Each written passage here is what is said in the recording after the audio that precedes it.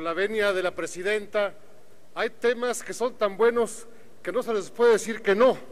Estamos, ante cinco de ellos provenientes del buen trabajo de la Comisión de Régimen a la que tengo el honor de pertenecer. Son tan buenos que se los voy a anunciar brevemente, no requiere más explicación. El 1 y el 2 hablan del cambio de nombre de, de, Distrito Federal a Ciudad de México. No podemos hacernos a un lado de la historia. El tercer tema habla de la presea a deportistas distinguidos. Cuerpo sano, mente sana, vamos bien, creo que no hay dudas. El cuarto tema es muy interesante, proviene de la iniciativa del inteligente del joven legislador Santiago Torreblanca Engel, que habla de que los dictámenes aprobados en comisiones deben llegarnos a las 24 horas, cosa que es muy sana, llegarnos de forma electrónica, cosa que es muy sana para así superar la, abrumadora llegada de documentos y poder trabajar con más precisión y poder tomar mejores decisiones.